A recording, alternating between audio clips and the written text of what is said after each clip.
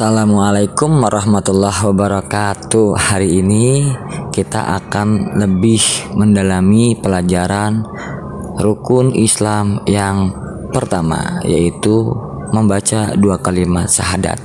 Yuk kita pelajarin lebih mendalam lagi dan lebih tahu apa aja sih kalimat syahadat itu.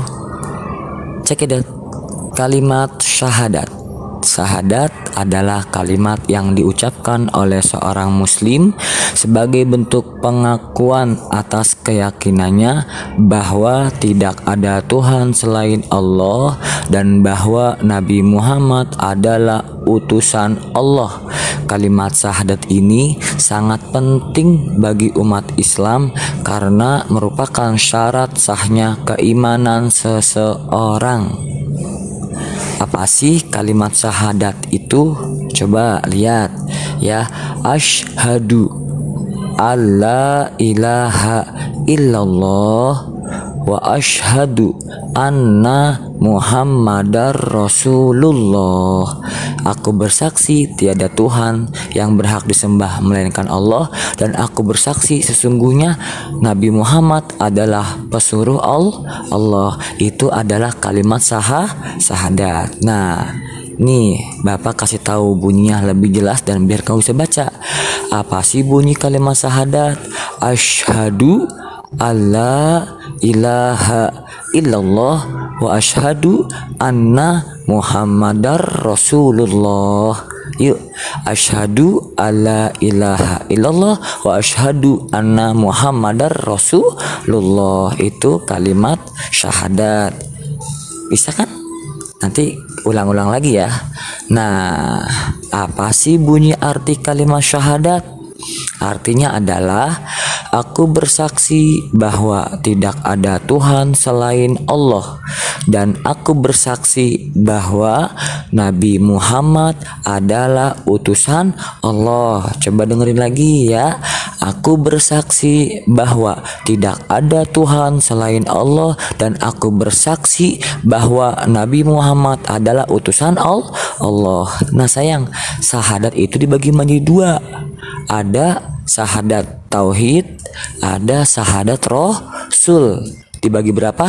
Dibagi dua, sahadat tauhid dan sahadat rasul. Kita lihat. Apa sih sahadat tauhid? Apa sih sahadat rasul? Nanti kamu akan bisa membedakan apa aja sih bagaimana bunyinya sahadat tauhid dan sahadat rasul. Nah, nih apa sih bunyinya kalimat sahadat? Kalimat syahadat tauhid bunyinya adalah asyhadu alla ilaha illallah Aku bersaksi tiada Tuhan yang berhak disembah melainkan. Allah. Bapak ulangin ya. Asyhadu alla ilaha illallah. Aku bersaksi tiada Tuhan selain Allah. Nah, sekarang sahadat roh sul Nih dengerin ya. Wa ashadu anna Muhammadar Rasulullah wa ashadu anna Muhammadar Rasulullah Aku bersaksi sesungguhnya Muhammad adalah pesuruh Allah.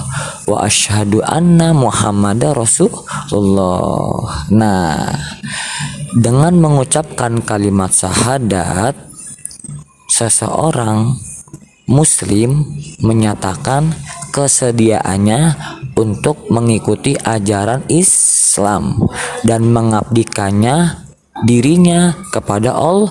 Allah dia harus menyembah Allah dengan dia sholat, dia mendirikan kewajibannya seperti dia mengaji. Nah, itu di antara kita membahas lebih dalam tentang kalimat syahadat yang dibagi menjadi dua. Ada kalimat syahadat tauhid dan syahadat roh rasul.